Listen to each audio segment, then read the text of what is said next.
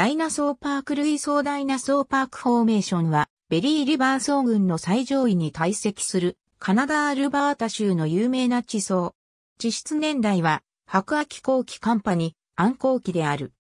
沖石層と海岸の環境を保存しており、陸生層であるオールドマン類層の上に堆積し、上には海清層のベアパウ類層が堆積する。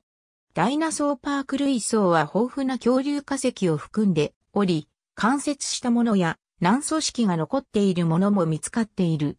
それ以外にも魚類、亀、ワニ、植物の化石も大量に保存されている。この層はレッドディア川沿いのユネスコ世界遺産である州立恐竜公園にちなんで命名された。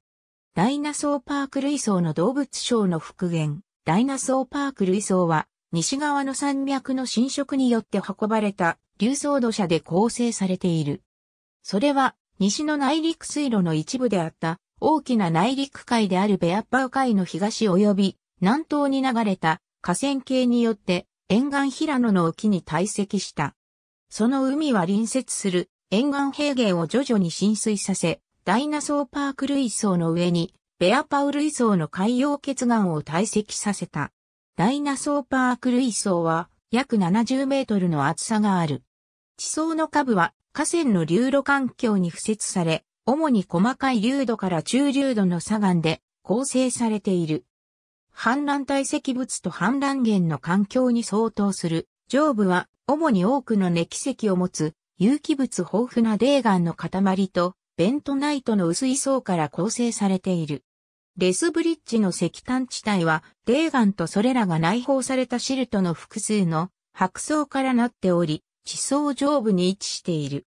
ダイナソーパークの堆積物は、前の時代のオールドマン類層のそれに類似している。しかし、二つの地層は、地域的な不一致によって分離されており、岩石学及び堆積岩的な相違によって区別される。さらに関節した骨格化石及び防音ベッドは、オールドマン類層では稀であるが、ダイナソーパーク類層では豊富である。以下のほか、パキリノサウルスに類似の未命名のタクソンも発見されている。ありがとうございます。